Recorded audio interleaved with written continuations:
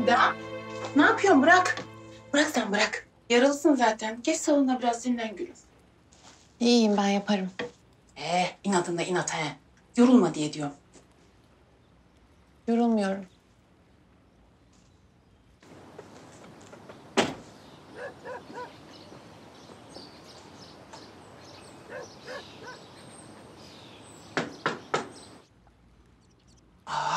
Bu ne hız be?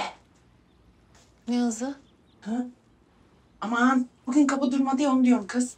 Zır zır zır.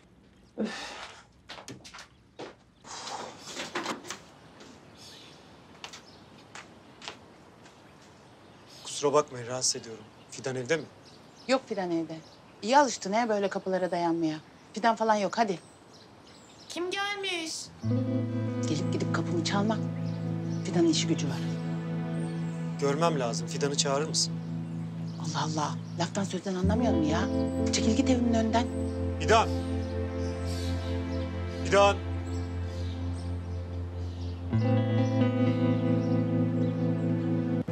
Toprak Bey.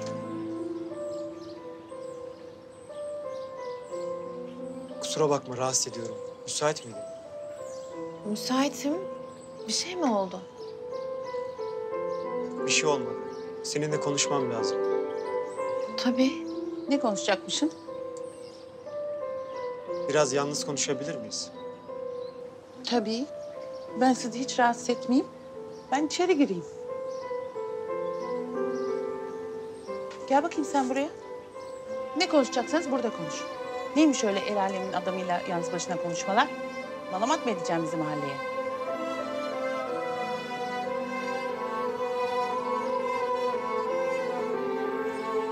Peki. O zaman ben hızlıca söyleyeceğimi söyleyeyim. Hadi hadi çabuk. Fidan benim sana bir iş teklifim var. İş mi? Ne işiymiş o?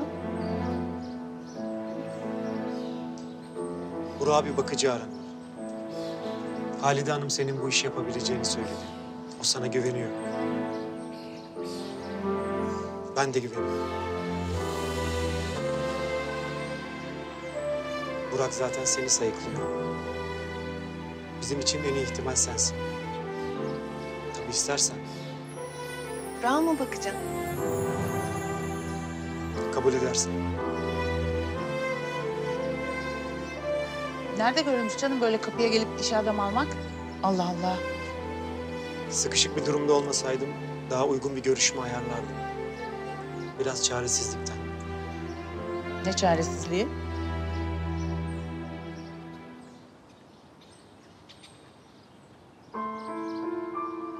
Tamam hadi hadi kardeşim. Sen şimdi git biz bir düşünelim. Ne bilelim senin iyi niyetli olup olmadığını. Ne diyorsun sen Zerrin abla? Sen geç içeri. Hadi. Hadi kardeşim. Sana da güle güle. Biz düşünür karar veririz.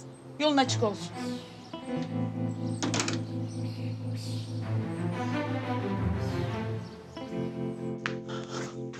Ya ne yapıyorsun sen Zerrin abla? Ayıp oluyor misafire. Seni koruyorum. Böyle kapıya dayanmaya alışırsa sonun ne olur biliyor musun sen? Ya adam iş teklif etti ne güzel. Zaten ihtiyacımız vardı. Acaba sende ne görmüş de böyle kapıya dayanıp iş teklif ediyor? Ha? İnsan mı kalmamış çocuğunu baktıracak? Ya Burak beni çok sevdi. Ben de onu sevdim. Halide teyze de kefil olmuş işte. Söyledi ya Toprak Bey de. Ben anlamam. El aleme rezil ettiremem ben kendimi. Her şeyin bir adabı var.